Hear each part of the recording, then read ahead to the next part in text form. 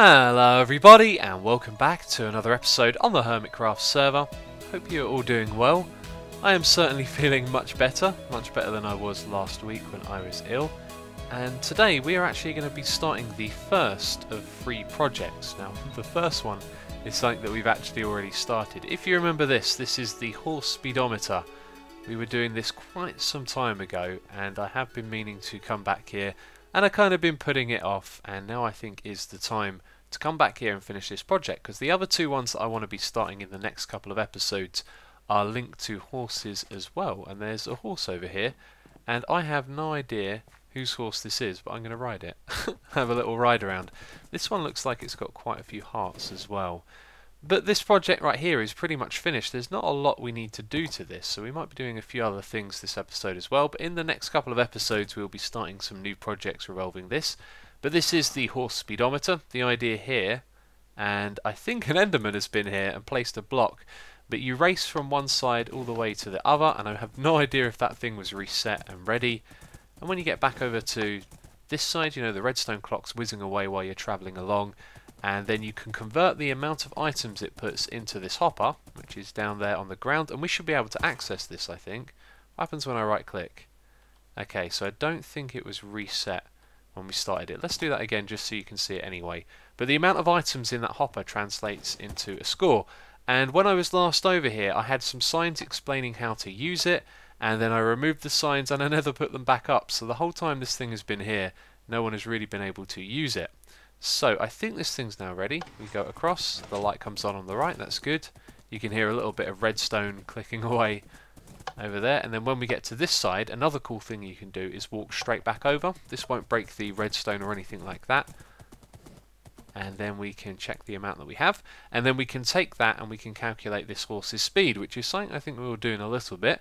But I want to talk about the changes and things that we need to do here first of all. So let's go drop this guy back into his little shelter and I'm out here. that's uh, that's interesting. That was quite a few blocks, wasn't it? We think we spawned on top of this one. Anyway, so totally lost my train of thought. right, things we need to do here. This racetrack, a lot of people, and I tried to explain it in episode once, were complaining about the soul sand, saying it would slow the horse down. Now the deal here is that the horse is bigger than one block. It's one and a half blocks. So if it stands directly above the soul sand, it's also standing on the edges of the blocks around it, and therefore, with the soul, sand being lower, the slowing effect doesn't affect the horse. So at no point does the soul sand here ever really affect it. But the thing that people were commenting about with this is that this is supposed to be a racetrack, you know, for measuring the speed of your horse and it kind of looks like a, a, dirty muddy path. So I think we should change this. That's a good idea. We're going to leave it all dirty and muddy on the other side but this area right here needs to be nice and clean. So we're going to change up the material that this is made out of and then we're going to try and finish this tunnel as well because once we've done that there is not a lot else around here that needs doing really. We've got a couple of horse stables. Maybe we're going to do a little bit more, you know, different materials in this area just here, just a bit of tidying up and polishing up. But the main thing is the tunnel.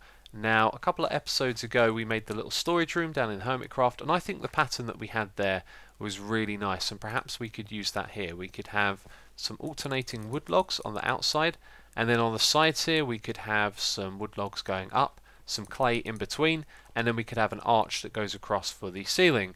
It's going to be quite a big building job as well actually because this thing goes back a fair way um, but we could do a section of it now and maybe I could finish it off another time. I'm just thinking about how much time I have to do all of this.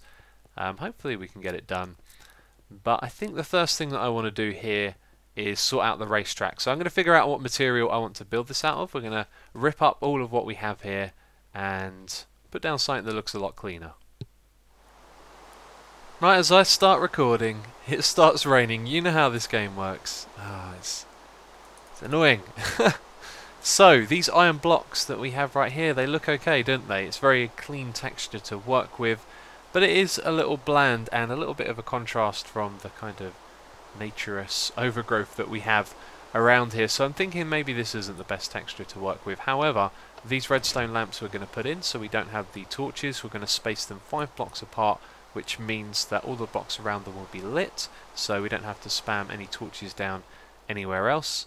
And yeah, I just need to look for another texture. I think what I'm going to do is go into creative mode because you can just go through the menu, have a look at what you think's good, and then come back here. But I think we're looking for something that's slightly textured, maybe even a couple of materials, and we create a pattern or something like that as well. But for now, I don't think these iron blocks are really going to do it. Do you know what? I think this is going to work. I decided to try something a little bit less bright, but still kind of have the clean texture. And stone is that block you know it's grey. But if we mix it in with a little bit of stone bricks it just allows us to add in a pattern and kind of break it up a little bit because there is a lot of grey going on here. But this is actually really nice. I like it. It's it's stone and it's not one of the greatest textures or most interesting but if you use it right it does look pretty good and so let's just fill in a little bit more here so you can see what the pattern is we have the redstone lamp every so often and then we have between those um, a stone block, then stone bricks and stone, and on the side three stone bricks like that, and it works really well. Plus these are in lines in the direction that you're going, so it's it's quite nice how it works. I like it. anyway, I think we'll do a little bit more and then just have another look, double check that we like this. But I think that is going to be our pattern for the racetrack here. And I called it a racetrack. It's a speedometer. There we go. That is awesome. The pattern lines up with the end of this, which is perfect because of that thing we call OCD, which it's not really. It's just neatness. And I was actually considering if it didn't line up with it the same way as it did at the other end, I may even move this back here. But we don't have to do that. I just have to finish putting in the pattern now. I'm actually really pleased with this. I think it looks really good. It's ever so simple. And it's going to look nice. It's going to look nice. Okay, this thing is very nearly done now. I want to jump on this horse and ride down and see what it looks like. I think that looks good. Yeah, that looks really nice. I am happy with that. Now, I've realised at the moment there is actually a lot of grey around here as well, which kind of complements it. So that is all about to change, because we're going to be changing these walls and this roof. Let's just put that down there and turn that on. Yes, there we go, done. So I've just been thinking, another good thing about having this pattern here line up with the racetrack, that I called it a racetrack again, it's a speedometer, uh, is that we can do the same thing with the walls on the side. So I think whatever it is we're going to build, the pattern that it will have, because it will be done with a pattern in segments, is going to line up with these lamps as well. And then the whole thing is going to be nice and neat, which is awesome. But this end over here, I think what we'll probably do is just have some of these slabs come around the edge here and then maybe build a little bit of a border you know like a fence or something like that we're not going to do anything fancy and we'll tidy up the top bit as well uh, but we need to focus on the sides first so I'm going to go and figure out what it is we're going to be building you want to know something? I am excited right now this is going to look great I've just done a very small portion of this but this does look really nice we have a sloped roof here going from one side over to the other. So just imagine that what you see on this side is mirrored on that side over there.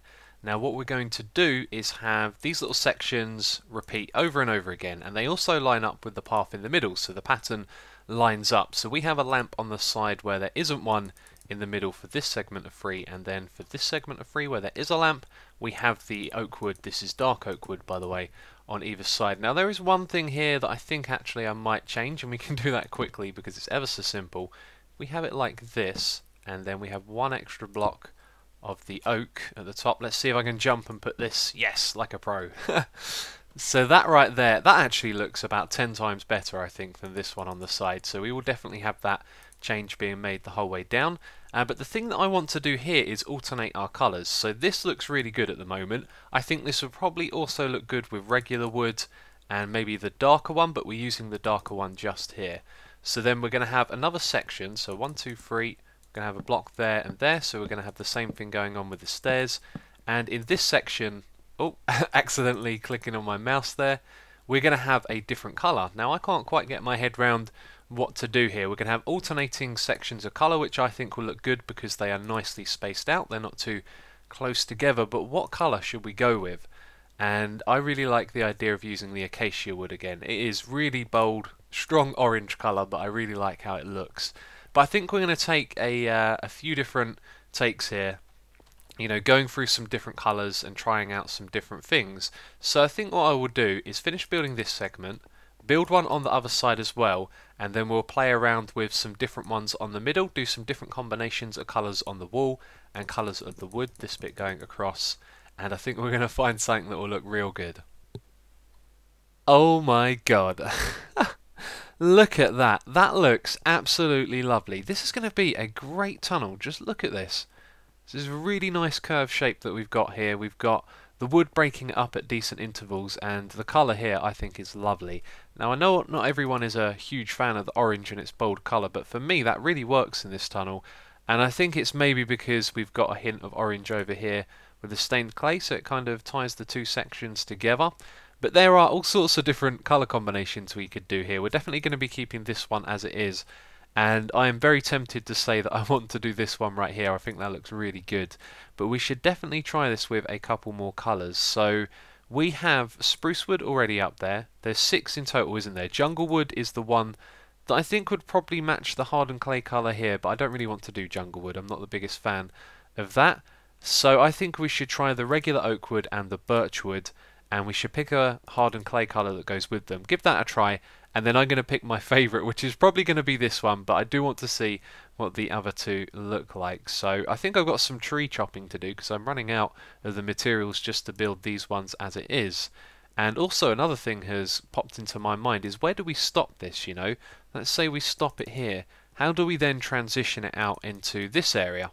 I am not sure at the moment. I've got a couple of ideas, but we'll deal with that when we get to it. So right now we're going to swap this out, and I think we'll do the birchwood one first. All I'm going to say is yuck. Look at that. I don't like it. I got to say. The the ceiling is okay, but this pink, I think it's pink or white, white stained clay on the side just it doesn't work.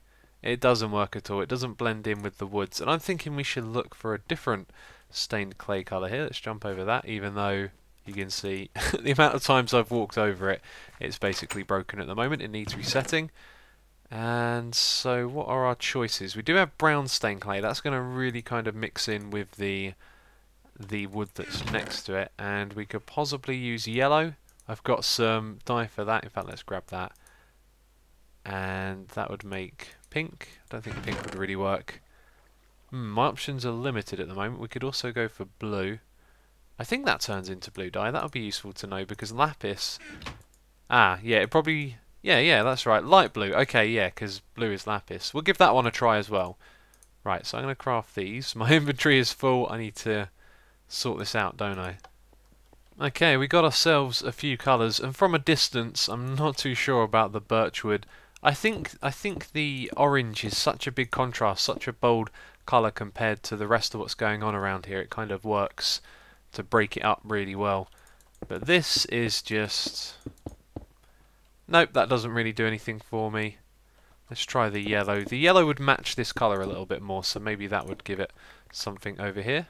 Let's grab that. So yellow. Mm, slight improvement, slight improvement. I think maybe if you had like a, a red here then the boldness of the two colours would match each other a little more, but again, not particularly feeling that. Let's try the brown. I've got a feeling we're going to go with the first one that I did. I really did like that. So let's... Oh, that's the wrong colour. there we go. And brown. Mm, that's a little better than I thought it would be. That really is. That that actually kind of works, I think, because you've got light and dark and then lighter and darker. And that kind of works actually. That's really nice. I want to do that on the other side. It does mix in with the uh, the wood a lot, but it does look good. So let's do this. That is a nice alternative. That looks a lot better than I expected. But I think what we'll do next is replace all of this with oak wood and try a few colours and see what it looks like. I'm just getting some oak wood together and this tree it grew a little too close to the ground and then I noticed that the tall grass wasn't replaced. So interesting little something there. The leaves won't replace tall grass. Probably probably never going to be useful that is it but something I noticed. I gotta say that is really nice. We replaced the birch with the oak wood and it's just a little more pale. It mixes in a lot better and now these two colours I think work better like that. Again, talking about the dark and the brighter, and then having the dark here and the bright there. With oak, that works so much better.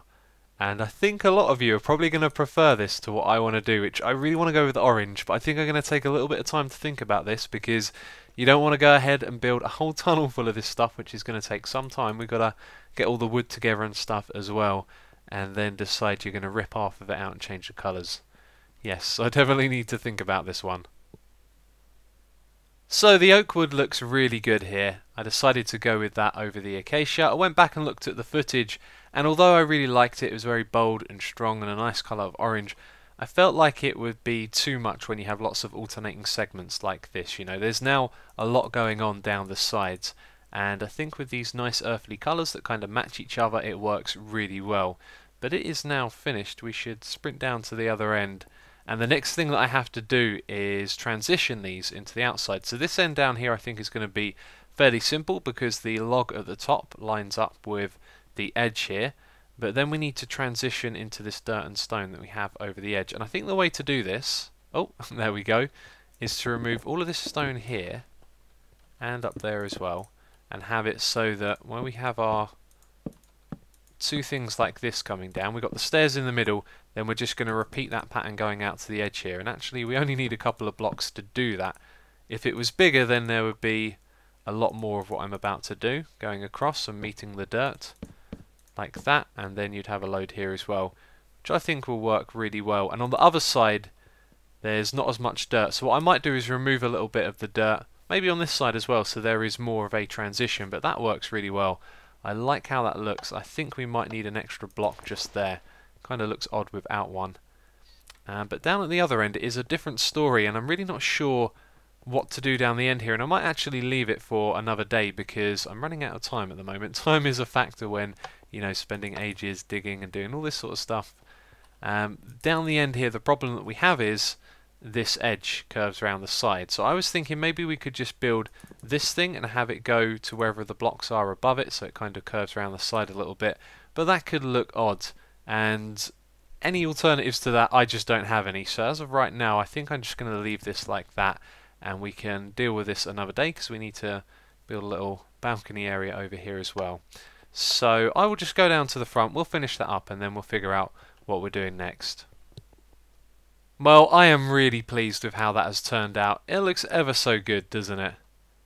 I'm really happy with that. The entrance, the way it transitions, the tunnel itself, this track right here, very simple, just the stone and the stone bricks, and I've now activated that. Let's reset it. I'm happy with all of that. That turned out really well, but there is something really important that we need to do for this. When I was last here, I removed the signs that explained how to take the amount of items that you get and then calculate the blocks per second your horse travels at.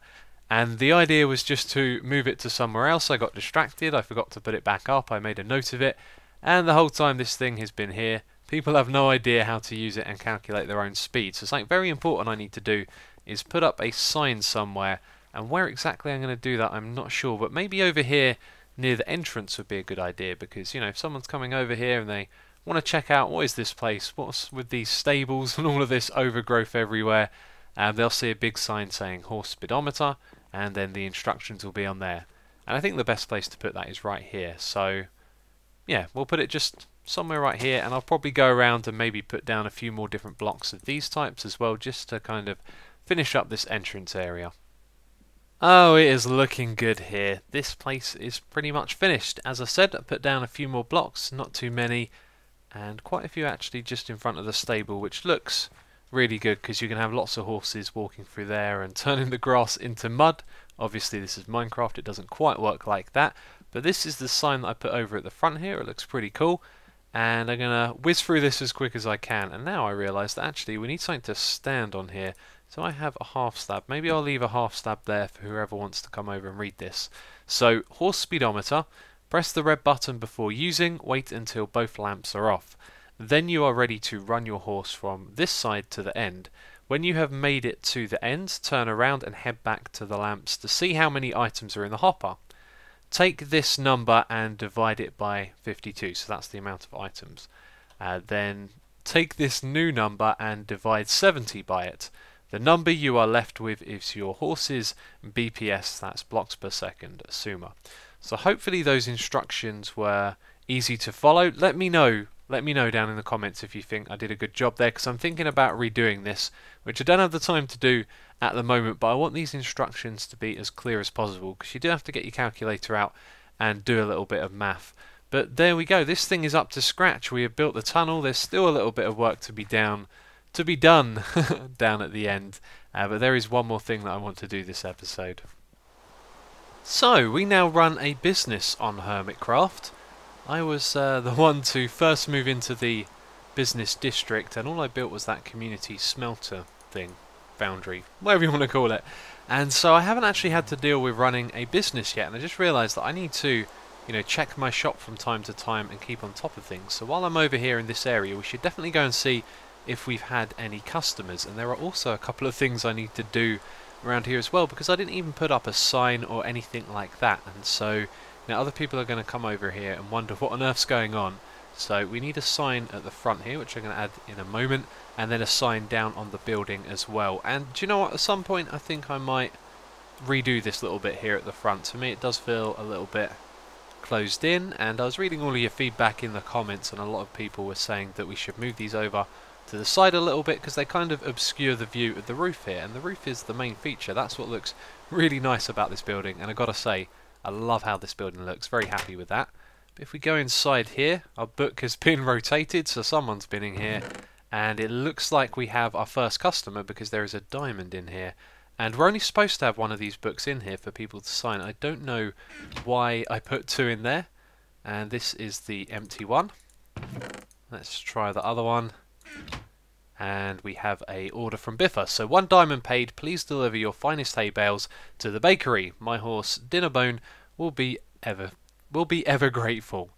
Yes, ever so grateful was what I could hear in my head. Anyway, uh, we need to just delete that from the book now, I guess. We've got Biffa's message. We're going to deliver the hay bales to him. And at the moment, all of my stock is over at the wasteland. So I've got to go all the way back over there and get some hay bales and then bring them back over here. But I think when I come back, we're going to set up a little chest or something hidden underground so that we can store the hay bales over here, which makes more sense, I think. So, yeah, let's uh, let's head back to the wastelands. So I've raced through the Nether and I've raced all the way back, and I've brought with me a couple of ender chests as well. We're going to put an ender chest in our shop because some of our customers may want to use that. Obviously I've watched Biffa's video so I picked up on some of his suggestions. I need to actually polish this up a bit and I don't have the materials at the moment because you're going to be able to see some of what's underneath there. So I'll probably put glowstone and then fill in the sides as well. So that's something I'll do at another point. But this is all of the hay bale that I have. I have been working really hard. I've left I think another three stacks back at the wastelands. I've been doing tons and tons of nano farming and that is what we have. A really big supply there. And there's a potential for diamonds here if we think about it. Each one of these is two. So we got two there. And that's four. And we have eight, 10, 14. So 28 diamonds we could make with that, which I think is awesome. That's almost half a stack, which is pretty cool. So anyway, we need to deliver this to Biffa's Bakery, to Dinnerbone outside of here. And I was thinking on the way over, do you know what would be funny? If we were to actually place down like a crate of the hay bales outside the shop now, you can place these down, so why not? But it might look cool as well. We could put a little sign saying, you know, it's from the shop, and then someone will come past here and see this, and probably wonder, what on earth is going on? What all these hay bales for? Where are they from? Where can I get some? Hopefully, I say. Um, we're kind of running out of room here. I don't want to make a mountain here at the front. and I don't think I've arranged it in any particular way that makes it look nice. Let's uh, let's redo a couple of these here and put them like that. I'm really overthinking this. There we go. Awesome. Yes, a big delivery of hay bales. I kind of feel like I'm griefing. I've got to be honest. It feels a little odd. Um, but let's put hay bales delivered. Um, hmm. So, one order of hay bales delivered, signed from Xisuma, and I doubt Biff will be expecting that outside of his shop. I don't know what he's going to make of it, but I think it's funny to uh, to do that. And I'm going to go grab a torch and put it on top, just in case the light levels here aren't good enough. We do not want mobs spawning in this area. Uh, but I think that wraps things up for this episode. And next episode, we'll probably be continuing with something else to do with the horses. You remember I said there are three new projects that I want to start, and we've done the first one, which is just to finish off the horse speedometer. But that is it for this episode. So, as always, if you have enjoyed it, please do leave a like. It'll always be appreciated. But thank you for watching, and I will catch you next time.